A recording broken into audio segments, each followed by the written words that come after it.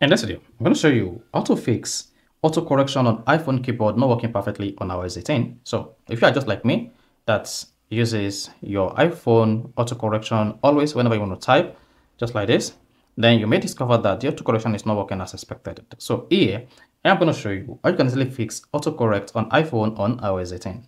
So if at the end of this video, you found this video helpful and informative, please don't forget to like and subscribe. Now the first one to do here is this.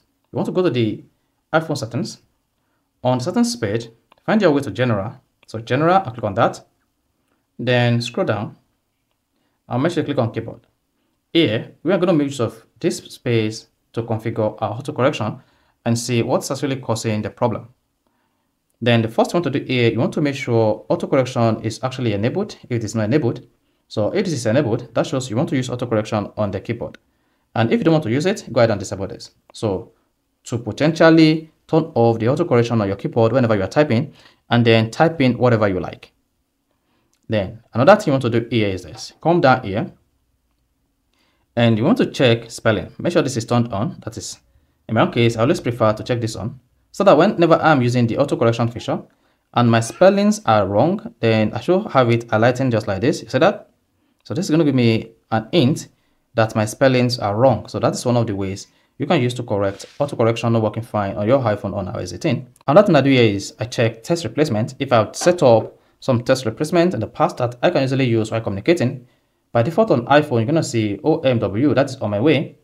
But if you have added other text replacement here, you want to check, and this could be causing havoc. So in this case, if I just go to my test here, and then I choose to type B, so this is going to suggest my test, which is before anyone X, which I have saved here, then if this is what's actually causing the havoc, just go ahead and delete this. This, then remove it to save, and then click on the save button later. So another thing you want to do lastly here on how you can easily check for autocorrection correction if it is not working fine is to check whether there is an update available for you. So you need to always stay on top of your iOS update. So for iOS 17, iOS 15, 18, just make sure you update your iPhone at the right time to fix all suspicious bugs. So that is all you just need to do is go to your phone settings and select general. Then under general, you want to click on software update.